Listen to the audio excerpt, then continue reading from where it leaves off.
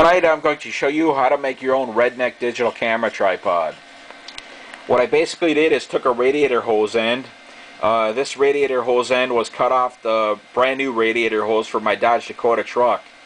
When you would buy the radiator hoses at the auto parts store, they're made for all sorts of different models and you have to cut them to size. And after I cut the hose to size, this is what was left of the hose. The hose part that I cut off was that long. And as you see here, I cut the hose on an angle like this.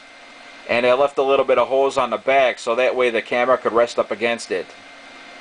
And you take the tripod, put it on your desk. And I'm going to use this Minolta XG7 camera as a demonstration. You set the camera on the tripod like this.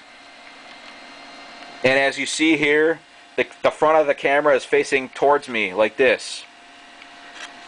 And so that way I could make my own self videos or self portraits and I'll put the camera on, on an angle right here. And as you see here the camera is facing upwards like this. It would be facing towards me or facing towards a person. So that way I could make my own uh, self portraits or videos. And that's why I cut the holes on an angle. And I'll give a real demonstration with the real camera